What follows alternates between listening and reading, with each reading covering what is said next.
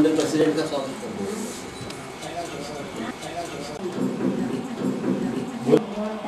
हीरा सुरेंद्र सिंह को यहाँ पे वे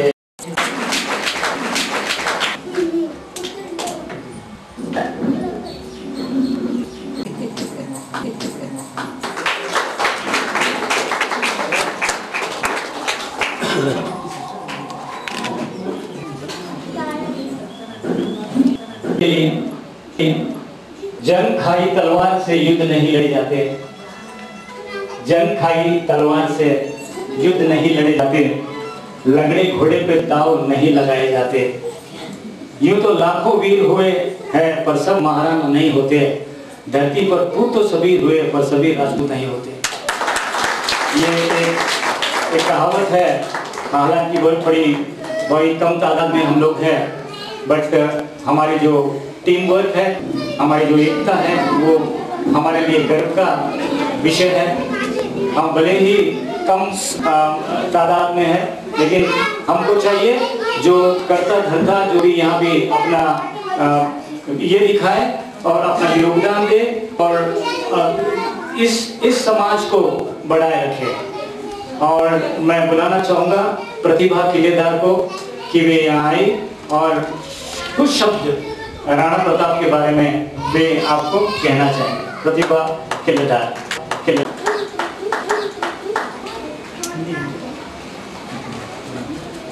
ओनली हिंदी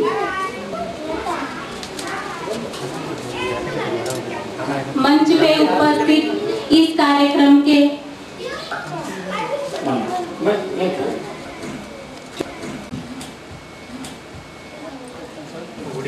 हाँ,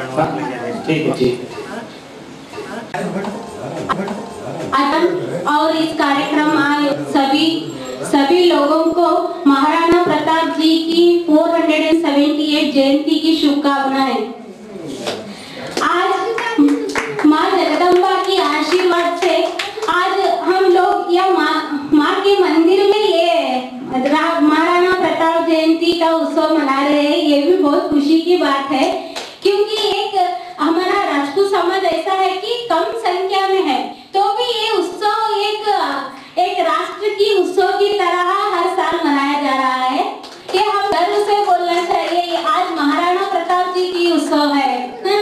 क्योंकि उनका त्याग और बलिदान एक ऐसा मिसाल है कि हम सभी को स्फूर्ति मिले इनकी जीवन बारे में पंडित नंद कुमार देव वर्मा ने 1823 में लिखा है। हम्म, तब से ये महाराणा प्रताप जी ने उनकी जीवन व्यतीत कैसे किया और देश के प्रति उनका प्रेम कैसा था?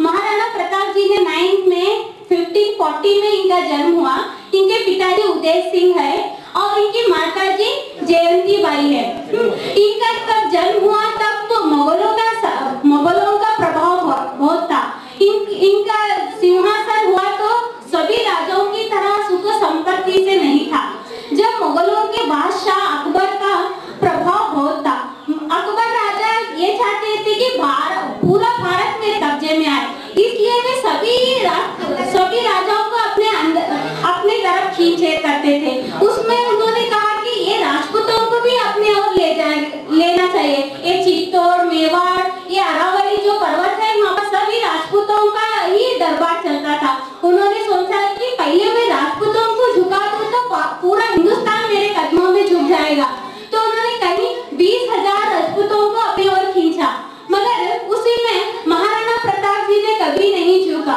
महाराणा प्रताप सिंह कहते थे कि सर कटा सकते हैं मगर किसी के लिए हम सर झुका नहीं सकते कान के कान के कहा जाता है यहाँ जाता है यहाँ हम देखें तो अ, एक इनका सबसे बड़ा एक महायुद्ध हो गया आप सब जानते हैं हल्दी घाटी महायुद्ध कहा जाता है ये महायुद्ध हम इतिहास में बहुत पढ़ते हैं मगर ये ऐसा एक महायुद्ध है कि केवल एक ही दिन हुआ।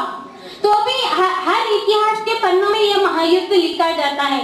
क्योंकि 1576 में जो मुगल के अरस थे अकबर, इन्होंने पृथ्वीराज को कहीं बार दूध से भेजा कि आप भी हमसे जुड़ जाए। मगर पृथ्वीराज नहीं बोले महाराणा प्रताप नहीं बोले कि जंग में ही उसका उत्तर दूँगा मैं।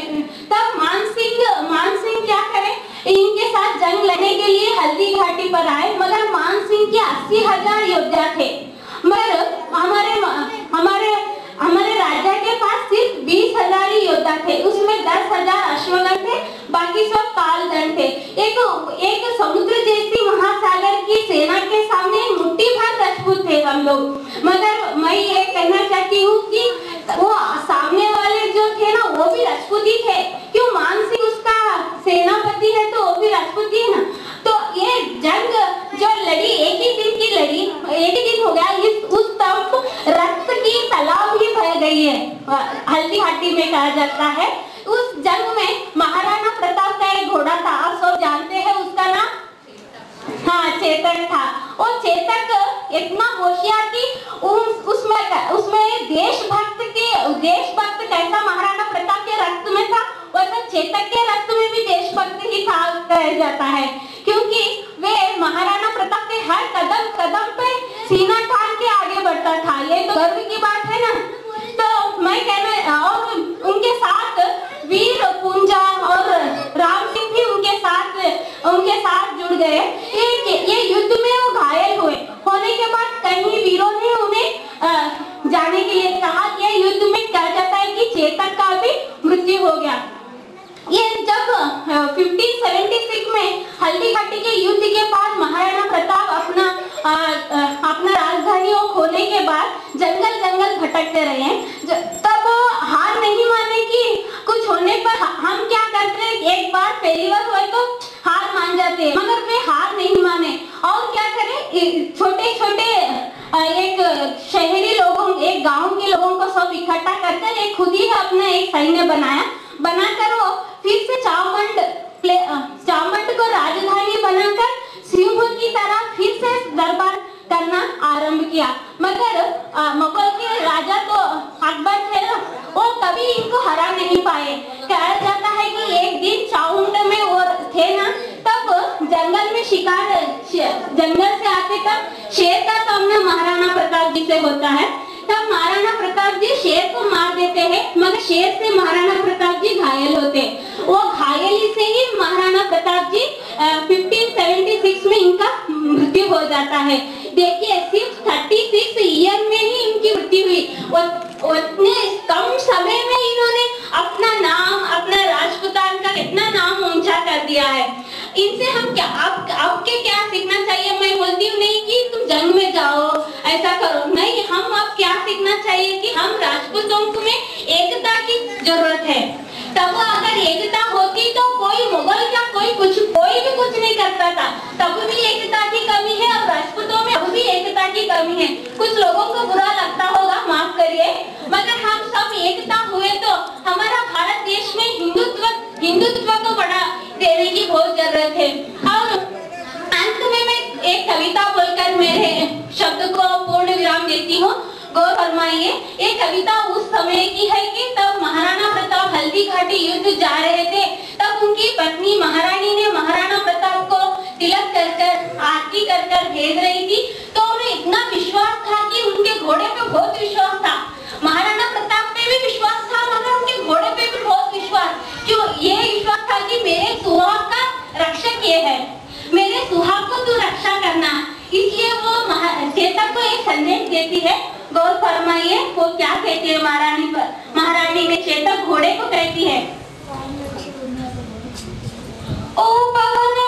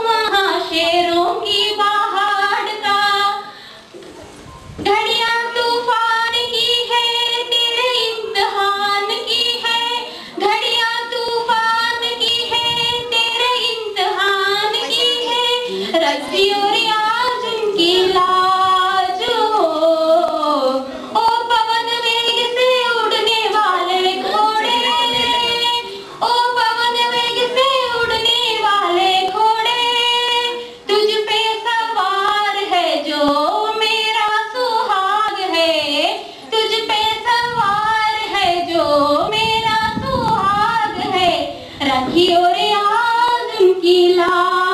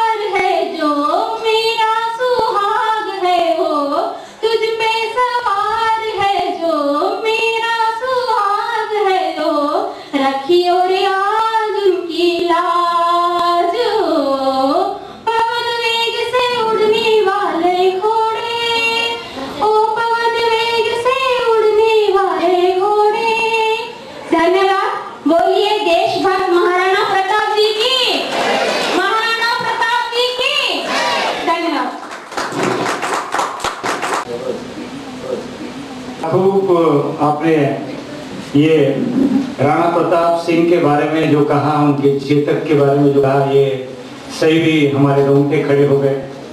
और एक एक एक, एक युग में हम लोग चले गए जहाँ पे सिर्फ़ देशभक्ति जहाँ पे घोड़े के खून में भी देशभक्ति रह चुका है। तो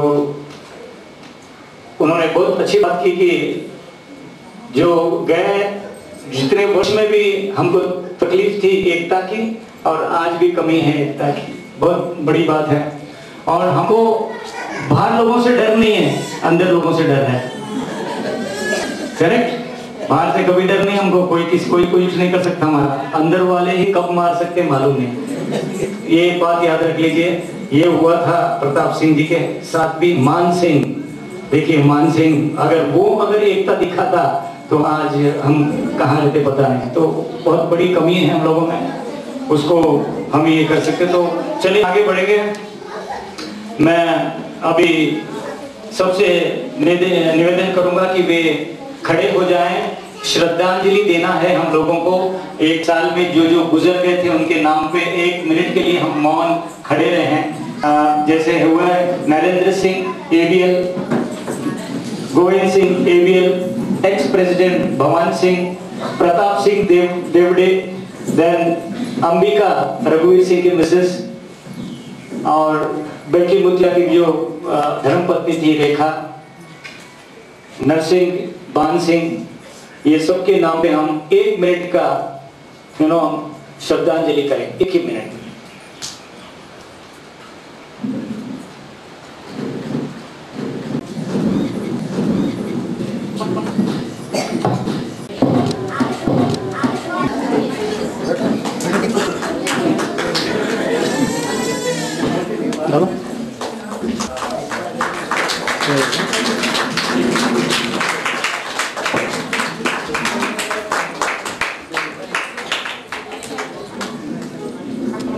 आज के प्रेसिडेंट के प्रेसिडेंट को सम्मान किया जाएगा हमारे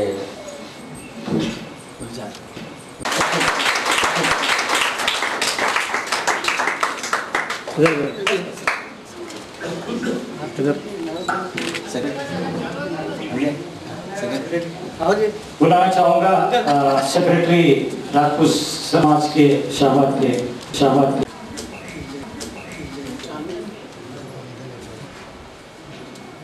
इधर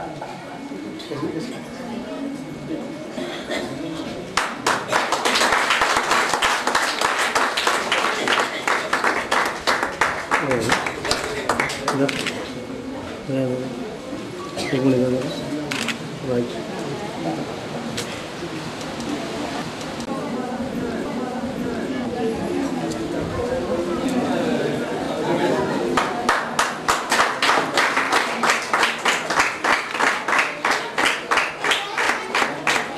इधर आओ इधर आओ।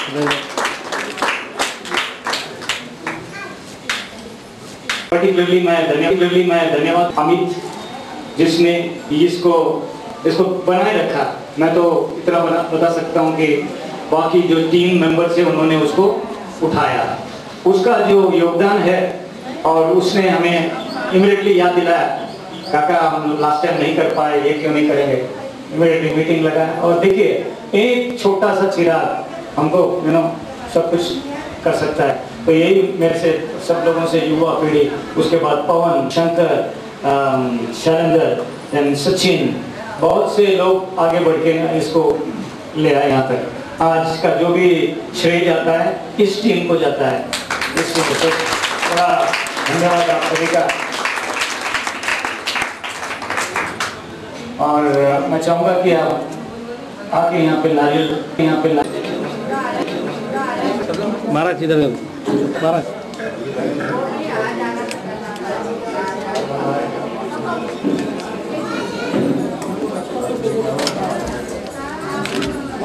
राइट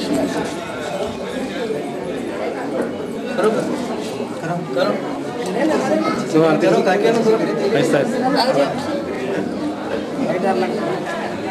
हम इधर देखो। इधर देखो इधर देखो राइट लो अमित तू पकड़ तू पकड़ साथ में इधर देखो इधर देखो भैया भैया इधर इधर मामा इधर मामा मामा इधर राइट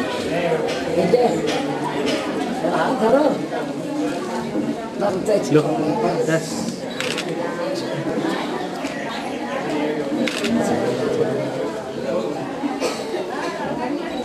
뭐라고 한대? 내가.